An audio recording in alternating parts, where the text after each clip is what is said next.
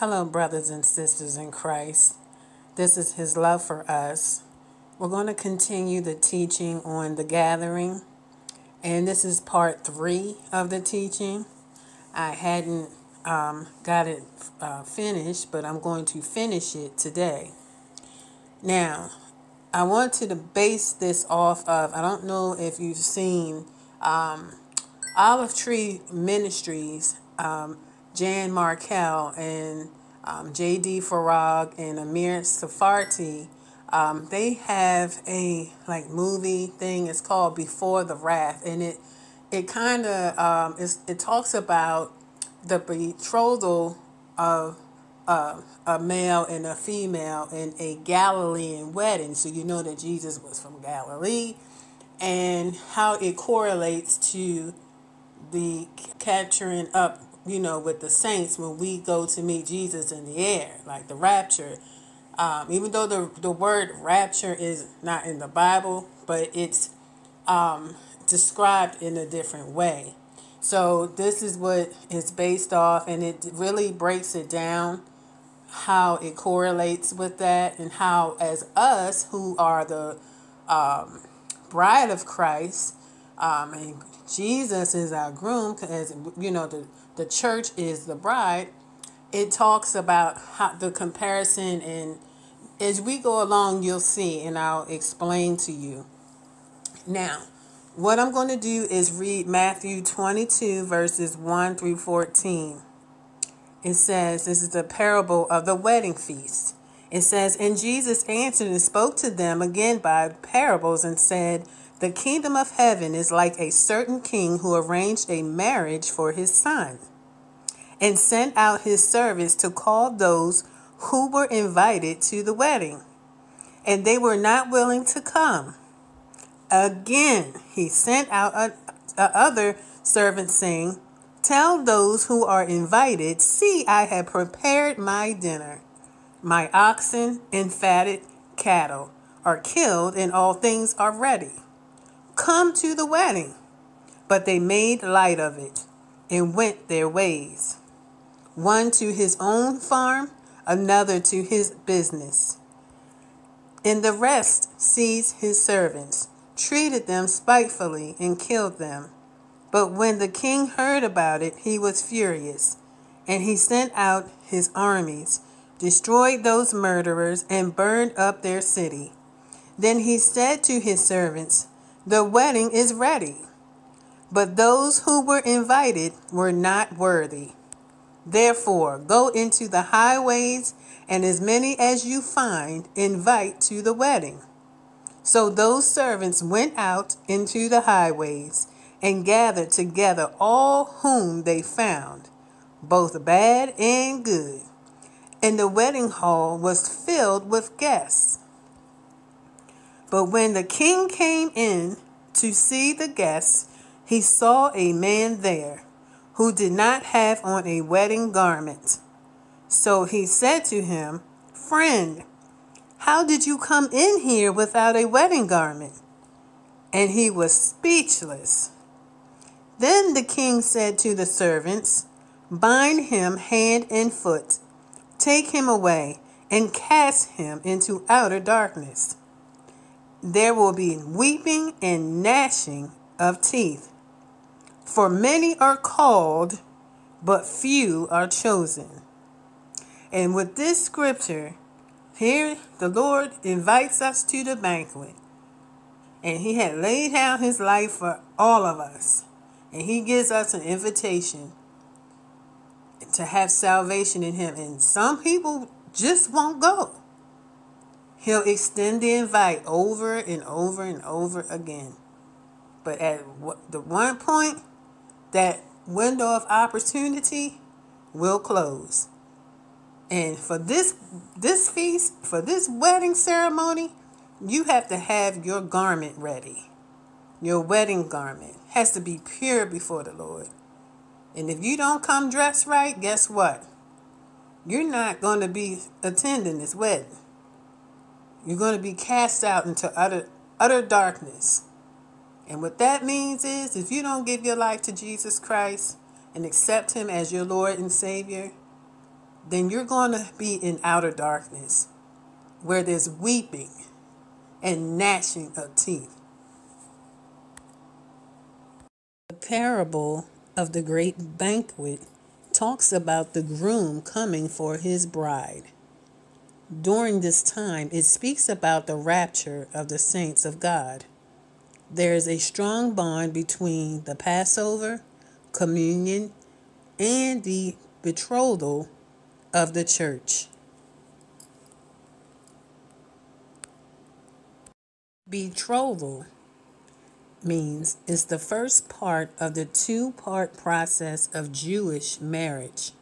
See, with the betrothal, it's different than how we get married. It's, it's very different, but we're going to keep going.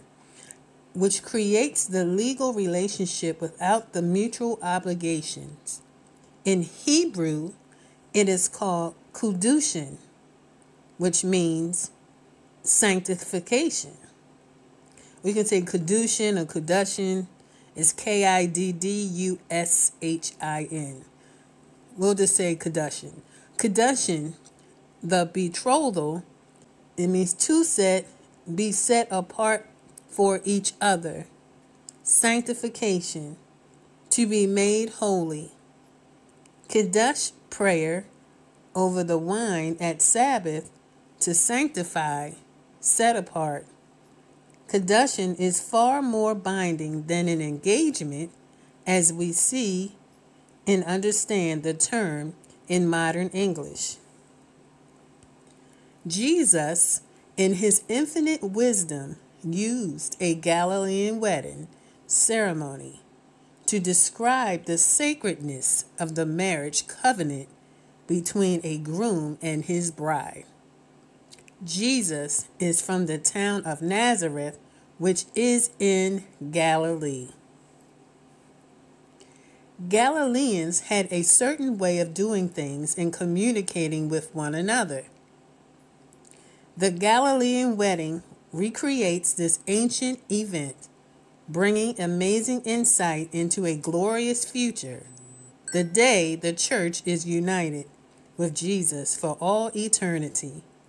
It will be our greatest day and His.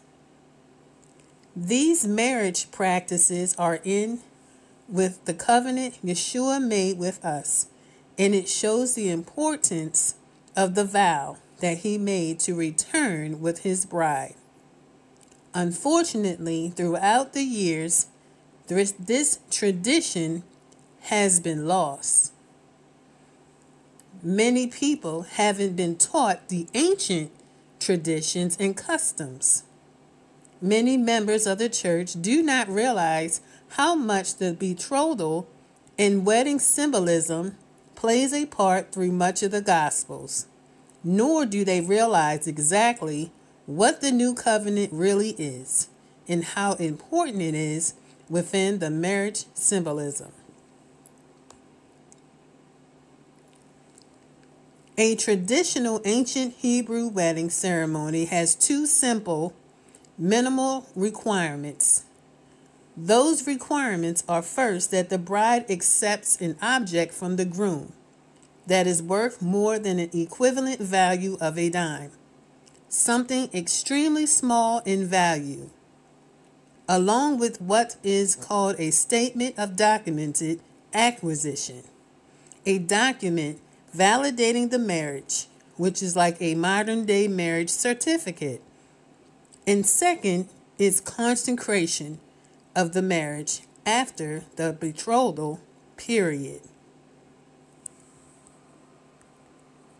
When these two acts of the wedding day are completed and witnessed or confirmed by at least two people, the marriage is official.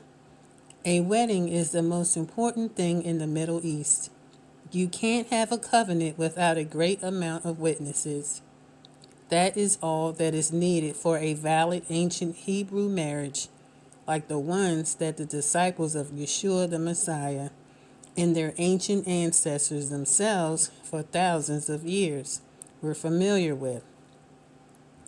The betrothing process, which leads up to the marriage, would start when a man took a liking to a young woman. The man and the father of the man, if he is still alive, approached the father of the young woman for her hand in marriage. So basically, the man had to sell himself to the young woman's father.